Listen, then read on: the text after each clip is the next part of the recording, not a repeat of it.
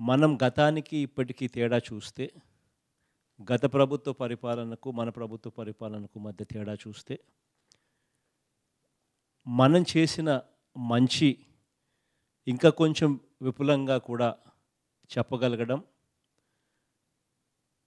ఇవన్నీ కూడా తీసుకొని పోయి మన ప్రజల్లోకి తీసుకొని పోయి మనం ఇంకా కొద్దిగా ఎఫెక్టివ్గా మనం చెప్పగలిగితే ఈసారి జోగులన్న గెలిచిన మెజారిటీ లాస్ట్ టైం గెలిచిన దానికన్నా కూడా ఇంకా మెరుగైన పనితీరు కనిపించే విధంగా అడుగులు ముందుకు వేయడం. ఈరోజు ఒకసారి ఇదే నియోజకవర్గానికి సంబంధించి ఉట్టి డీబీటీ స్కీమ్స్ నేనేమి వేరేటివి కూడా చెప్పడంలా. అంటే డైరెక్ట్ బెనిఫిట్ ట్రాన్స్ఫర్ అంటే నేరుగా ప్రతి ఇంటికి కూడా ఏదైతే ఇంటింటికి వెళ్ళి ఇలా పేపర్ ఇచ్చి ఆ అక్క పేరు చెప్పి ఆ చెల్లెమ్మ పేరు చెప్పి అక్క దేవుడు దయతో ఈ మూడు సంవత్సరాలలో మన ప్రభుత్వం వచ్చాక మనం ఏదైతే ఎన్నికలప్పుడు వాగ్దానం చేశామో ఆ ఎన్నికలప్పుడు చేసిన వాగ్దానాలలో తొంభై ఐదు శాతం వాగ్దానాలను పూర్తి చేసిన తర్వాతనే మీ ఇంటి దగ్గరికి వచ్చి అక్క మీ ఇంట్లో ఇవన్నీ జరిగాయా లేదా? అని చెప్పి మీ పేరు చెప్పి మీకు ఇవన్నీ జరిగాయా లేదా? అని చెప్పి జగనన్న ఇచ్చిన లేఖను కూడా తీసుకొని వచ్చి మీ ఇంటికి వచ్చి మిమ్మల్ని చెప్పగలుగుతా ఉన్నాము. ఇవన్నీ వాస్తవాలు అవునా కాదా మీరే చెప్పండి. ఇవన్నీ వాస్తవాలు అయితేనే మళ్ళీ మా ప్రభుత్వాన్ని జగనన్నను ఆశీర్వదించండి. మీ చల్లని దీవెనలు ఆశీస్సులు మాకు కావాలి అని చెప్పి ధైర్యంగా ఈరోజు ప్రతి ఇంటికి వెళ్ళి కూడా అడిగే కార్యక్రమం చేస్తూ ఉన్నాం. అంటే నేను చెప్పేది ఏమిటనంటే మంచి చేసిన తర్వాత మంచి మన ఈ రకంగా చేయగలిగాము అని చెప్పిన తర్వాతనే ప్రతి ఇంటికి వెళ్ళి ఆశీస్సులు అడిగే పరిస్థితి ఈరోజు మనం చేస్తూ ఉన్నాం. మామూలుగా నాకు బాగా గుర్తుంది పూర్వపు రోజుల్లో నాన్న హయాంలో అనేవాళ్ళు. ప్రతి కార్యకర్త కూడా ప్రతి ఎమ్మెల్యే కూడా గ్రామాలకు వెళ్ళాలంటే ధైర్యంగా గ్రామాలకు వెళ్ళే పరిస్థితి అని. ఎందుకనంటే ఇల్లు అడిగితే ఇల్లు ఇచ్చాం పెన్షన్ అడిగితే పెన్షన్ కార్డు ఇచ్చాం రేషన్ కార్డు అడిగితే రేషన్ కార్డు ఇచ్చినాం. ఏది అడిగినా కూడా ఫలానేది ఇవ్వలేదు అని చెప్పే మాట లేకుండా సాచ్యురేషన్ పద్ధతిలో అర్హత ఉంటే ఏ ఒక్కరికి కూడా డినై కాకుండా ఇవ్వగలిగినాము అని గతంలో వినేవాడిని నాన్నగారి హయాంలో గురించి మాట్లాడేటప్పుడు.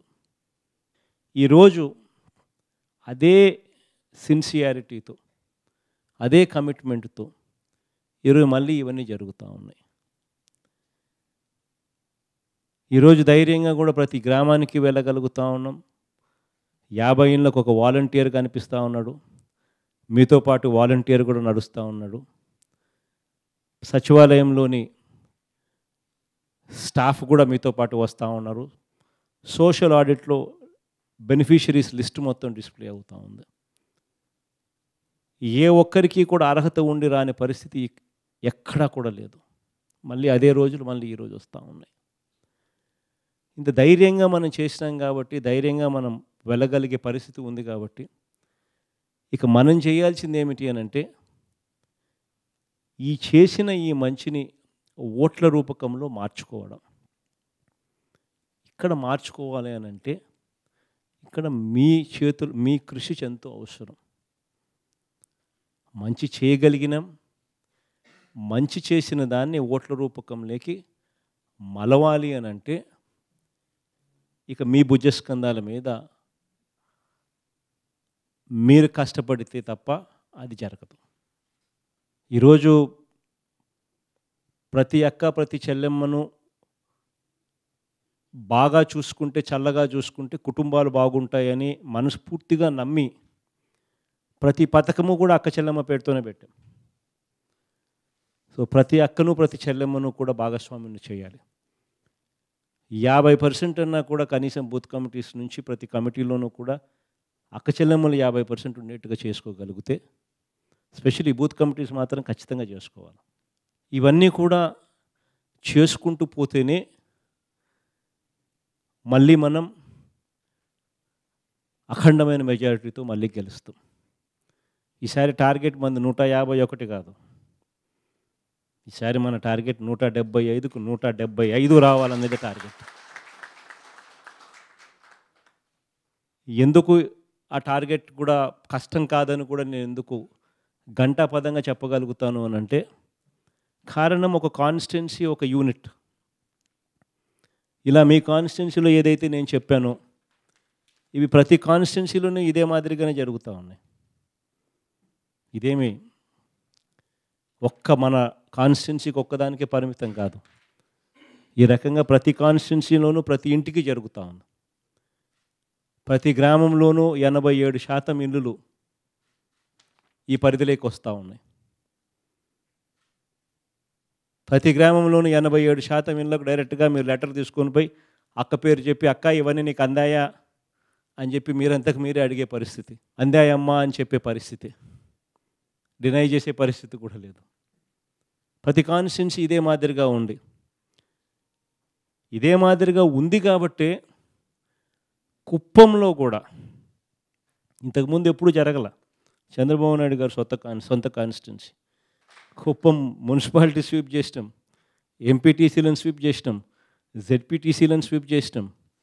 పంచాయతీ ఎలక్షన్ స్వీప్ చేసినాం.